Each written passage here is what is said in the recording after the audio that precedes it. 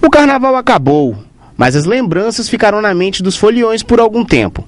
Além das boas lembranças, outras características são trazidas do carnaval, como as doenças de pele, também conhecida como micoses. Nós moramos numa região quente, né? E moramos num país quente que é o Brasil, que é um país tropical. Então isso desenvolve muito fungo, muitas é, lesões de pele.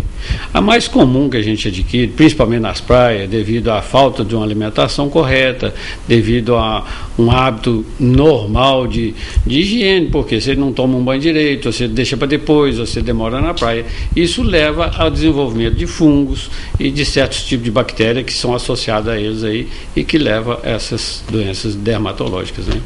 Existem inúmeros tipos dessa doença, mas algumas são mais conhecidas que outras em nossa região. O mais comum é aquele que se chama de panos, que é uma tinha corpore, né? E a tinha cruris, que é aquela que a gente tem na parte onde o calção pega, perto da, do, da, da pelve ali. É, são as mais comuns e, inclusive, também a, a frieira, como a, a mais característica, né? Frieira, né? Que dá nos pés. E, aliás, a frieira, essas micoses, ela dá entre os dedos da mão também, né?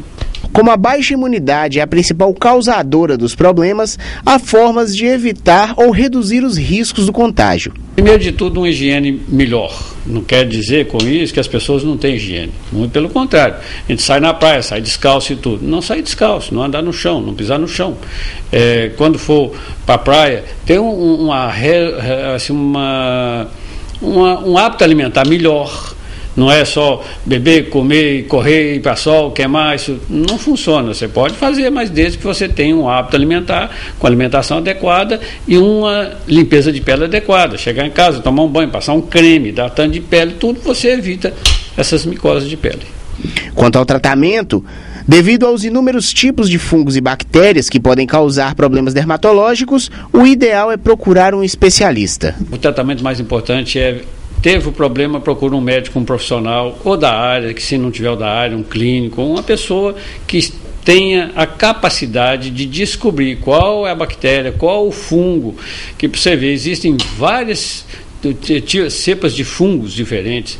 Então a pessoa acha que tudo trata tudo, com remédio trata tudo. Não existe isso. Cada um é um tipo de tratamento. E esse tratamento é importante e deve ser feito por um profissional que saiba fazer o tratamento.